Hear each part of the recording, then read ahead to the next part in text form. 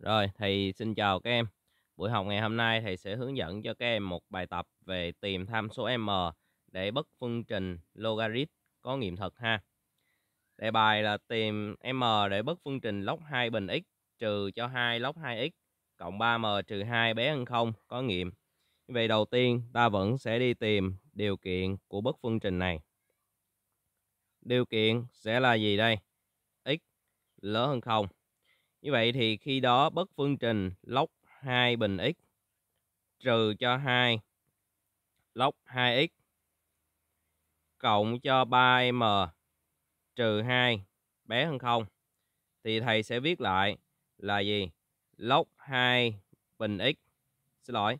Chỗ này thầy sẽ cô lập tham số ha. Thầy để 3m ở đây, còn lại thì đưa qua bên vế phải hết. Như vậy là trừ log 2 bình x, đúng không? Cộng cho 2 log 2x và cộng cho 2 đó, và thầy đặt đây là bất phương trình sau.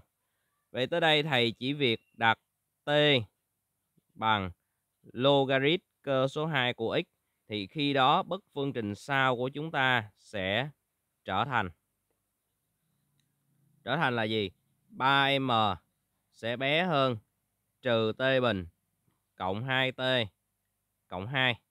À, trong đó bất phương trình này có nghiệm thực ha. Thầy đặt đây là bất phương trình 2 sao.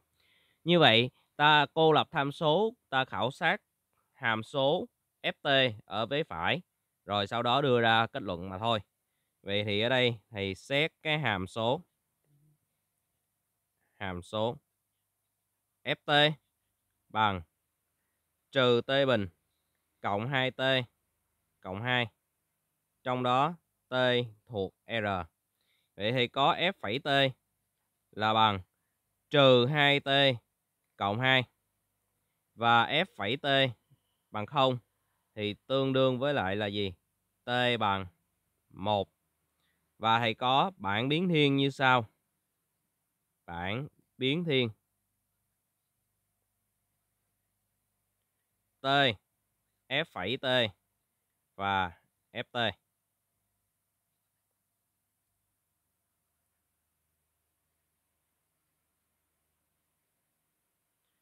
T của mình tại chạy từ trừ vô cùng tới cộng vô cùng. đây là T bằng 1 thì F phẩy T bằng 0. Vậy thì dấu sẽ là phải cùng trái trái. Rồi, như vậy nó đi từ trừ vô cùng lên. Vậy tới đây thì các em sẽ sử dụng máy tính tới đây thì ta ra ra được là với t bằng 1 thì ft sẽ bằng 3 vậy đây nó chạy từ trừ vô cùng lên tới 3 và xuống tới trừ vô cùng.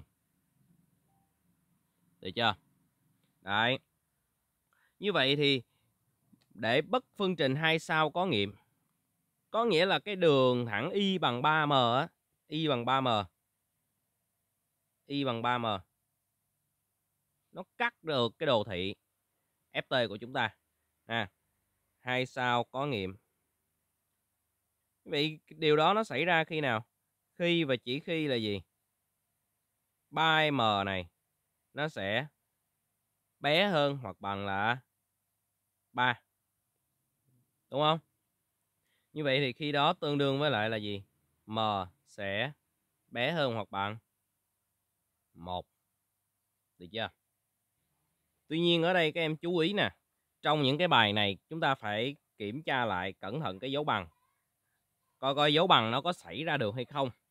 Bây giờ cái bức phương trình của chúng ta là 3m bé hơn trừ t bình cộng 2t cộng 2. Trong đó t thuộc R. Thế thì nếu như hiểu theo cái cách đồ thị là ta sẽ hiểu như thế này. Là ta phải tìm ít nhất một cái giá trị t ha.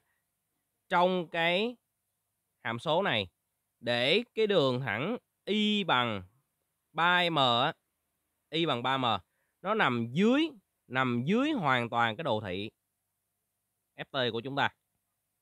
Như vậy thì trong cái trường hợp là 3m mà nhỏ hơn 3 thì điều đó là ta thấy nó hiển nhiên rồi. Bây giờ ta đang lưỡng lự là liệu nó có bằng hay không, thì bây giờ ta kẻ ngay cái đường y bằng 3 cho thầy. Là trong trường hợp m bằng 1 á, ta xem coi dấu bằng nó xảy ra được hay không. Thì nếu như m bằng 1 có nghĩa là y bằng 3 thì khi đó đường thẳng y bằng 3 cắt đồ thị này tại đúng một điểm ứng với t bằng 1 và khi đó mình sẽ thấy là không có cái giá trị t nào mà cái ft nó lớn hơn 3 hết. Nó chỉ có bằng 3 thôi. Khi t bằng 1. Được chưa? Thành thử ra là chỗ này dấu bằng không xảy ra được. Cho nên chỗ này là dấu bé hơn. À, do đó đáp án cần chọn sẽ là đáp án đáp án A. Đấy. Được chưa các em?